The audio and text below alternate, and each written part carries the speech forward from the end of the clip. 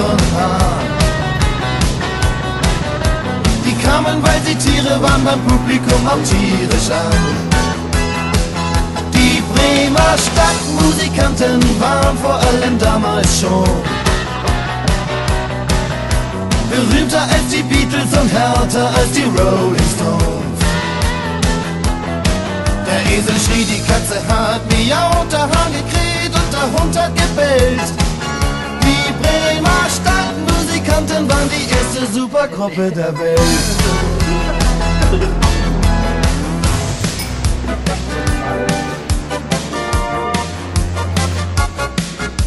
Am Abend legten sich die vier aufs Ohr und wollten schlafen. Irgendwo im Wald auf halbem Weg nach Bremerhaven. Da sahen sie noch Licht und zwar im Mafia-Freizeithaus. Mit ihrem harten Sound trieben sie die Gangster raus. Dann besetzten sie die alles wurde renoviert. Und am selben Tag zum Jugendzentrum umfunktioniert. Naja.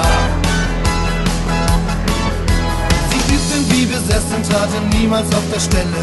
Schwammen Kilometer vor der neuesten deutschen Welle. Man holte sie nach Bremen und da traten sie dann auch zur Krönung der Karriere im Musikladen auf. Und wenn sie nicht gestorben sind, nie, nie im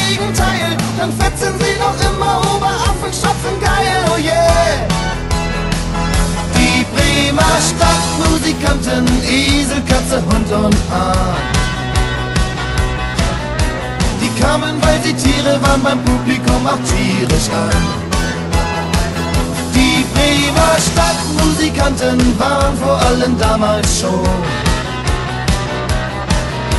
berühmter als die Beatles und härter als die Rolling Stones.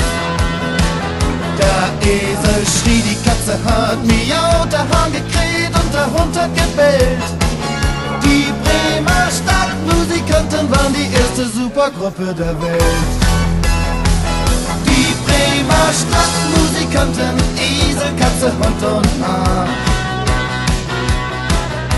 Die kamen, weil sie Tiere waren, beim Publikum auch tierisch an.